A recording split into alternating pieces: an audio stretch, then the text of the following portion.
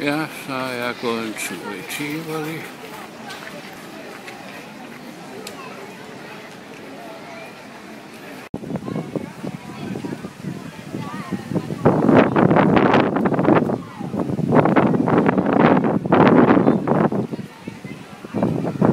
Nu skal jeg have lidt at spise.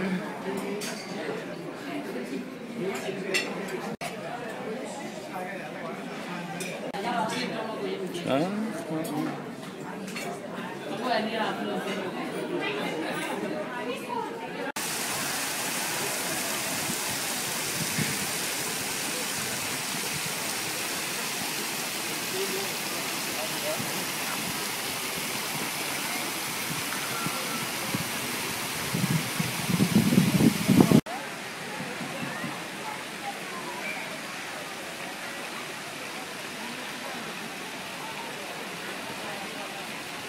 med rättvistan nu då.